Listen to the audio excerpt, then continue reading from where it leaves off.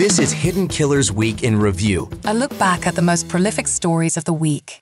Every smile hides a secret, and some of them are deadly. Welcome to Hidden Killers with Tony Brueski, featuring retired FBI Special Agent and Chief of the Counterintelligence Behavioral Analysis Program, Robin Dreeke.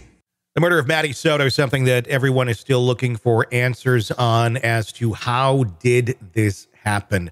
I think it's pretty clear we know who did it. At least the allegations against Stephan Sterns are are pretty ironclad, at the very least, for the sexual abuse that uh, occurred uh, with him and Maddie, uh, with the pictures that were found on the phone and shown to uh, Jen Soto and uh, even the grandparents had uh, heard about that as well, and and not, I guess, super shocked by the depravity of their son.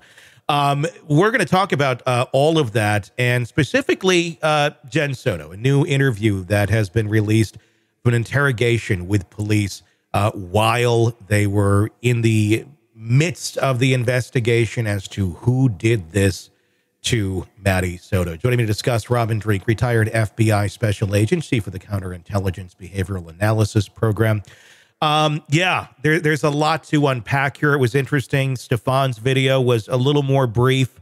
Uh, his interrogation, it just he was very calm, the same demeanor we've always seen in him of, okay, well, I just did this, I just did that. And then eventually they go, you know what we found on your phone? And they told him, and he's like, oh, okay. And eventually they strip him and take him away but not that compelling, other than he just seemed to have no emotion. Um, right.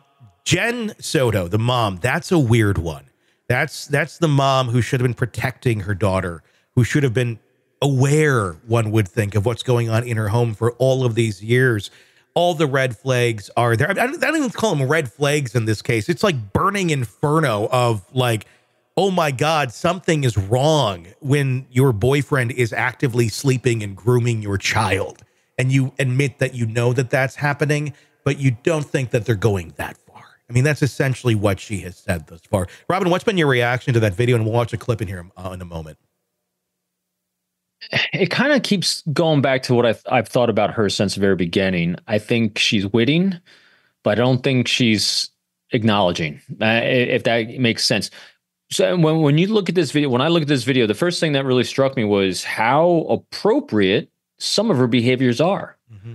You know, her rubbing her her hands on her thighs like this. This is her. There's two reasons people do these kind of rhythmic motions. One is a pacifying thing when you're under great stress. And the other is is we see it with people trying to simulate getting blood off their hands, getting grime off their hands. And so she starts really rubbing when the thought of her and Stephan Stephan, you know, sleeping with the same person. She said it, it's it, it was disgusting. She wor- used the word disgusting.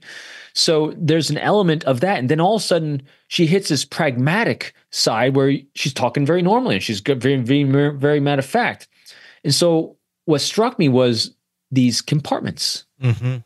She's got extreme compartmentalization. So I did my my typical thing as behaviors. Like, what would cause someone to be extremely compartmentalized? Well, long-term exposure and trauma. Yeah. And I think that she has been so groomed in her own life and conditioned in her own life prior to her relationship with him because this doesn't go so they the evidence they have goes back to 2020 this wasn't his first rodeo. I don't think it's her first rodeo of, of dealing with this kind of person in her life and these kind of people in her life. I think again zero excuse for the behavior this is about understanding the behavior. Mm-hmm. She still made every single choice to rationalize what she was seeing, and she made the choice to disassociate herself from it and compartmentalize it in her head because she didn't want to believe it. She even said it. I don't want to believe he killed her.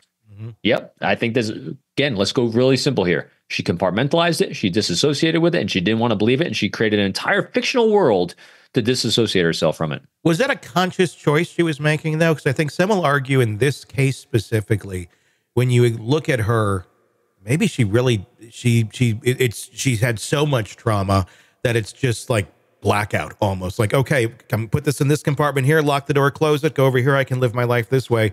And she never goes back and revisits these drawers until somebody like the police come in and go, "Hey, we're opening up the uh, deposit box. Guess what you've been storing?" Because it seems like when they do in the video, she's just, I mean, she gets very genuinely emotional um, and it's almost like, oh my gosh, like the you're throwing water on the wicked witch, and she's melting. And then she very quickly, as she's exposed to reality, fills that gap back up. And then suddenly it's, it's kind of back at her denial state where it feels to me like she could not possibly manage to live on a or in a world where all of this trauma is taking place around her and she's enabling it truly but is she even aware that she's enabling it because of the excessive amount of trauma that she's been through in the grooming I don't think it's conscious on her part. I think it's part of her natural state of survival. Yeah. And again, always got a caveat when we start talking about, you know, terms mm-hmm. of art in here, not licensed clinician mm-hmm. whatsoever, you know, just a practitioner of human behavior. Yeah. I want to read some of the symptoms of dissociative disorder that we're kind of I'm I'm theorizing is is being applicable to her here. Sure. Feeling disconnected from yourselves, problems uh, with handling intense emotions, sudden unexpected shifts in mood, depression or anxiety problems, or both feeling as though the world is distorted and not real. And we've seen this with her because she's dissociating when she doesn't want to deal with it. And she's having very, I think she's having very real emotional reactions to some of the, the, the truth bombs that are being dropped on her. But then she disassociates again. and goes back to pragma. Let's just answer the question. So you're seeing this this bipolar look at her yeah. with these two different personalities. I I I think from just watching her and from the very beginning of this she this is just who she is and who I think this is who she became after yep. years of dealing with something. And I even looked up, you know, if there's any uh, records of her being abused when she was younger. Mm-hmm. Um, there aren't that I found. Yeah. I would not be surprised though.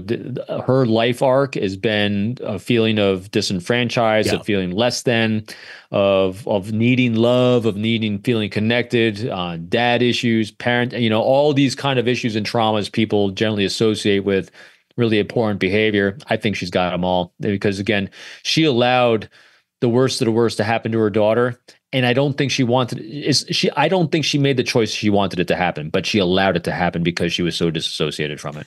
All right, true crime addicts, let's cut the crap.